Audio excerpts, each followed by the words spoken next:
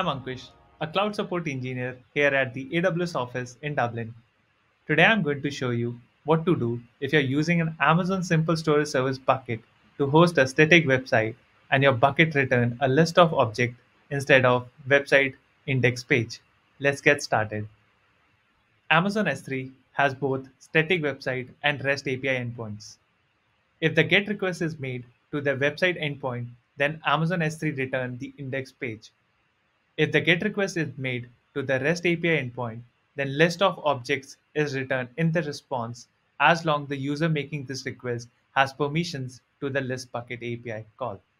If you want to prevent users from listing the content of buckets, make sure that there are no statement in the bucket policy that grant user the list bucket action. You can use Amazon CloudFront ahead of Amazon S3 and then set index as default root object. The CloudFront service is commonly used to serve content from a S3 static website to improve the performance. After logging into the AWS Management Console, navigate to the S3 console. Now select the S3 bucket that's hosting the static website. Choose the Properties view and then choose Static Website Hosting. This is the endpoint that's required for static website hosting. Now let's go to the CloudFront Service Console. Choose the distribution associated with your S3 bucket.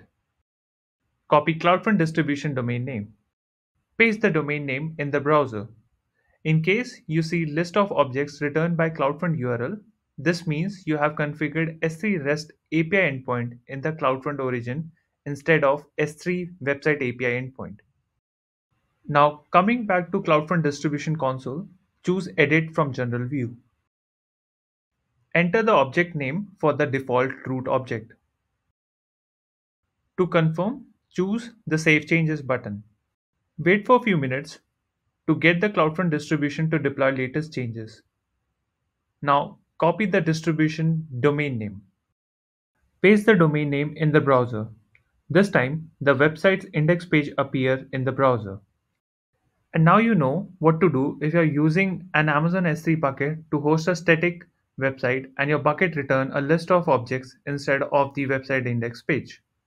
Thanks for watching and happy cloud computing from all of us here at AWS.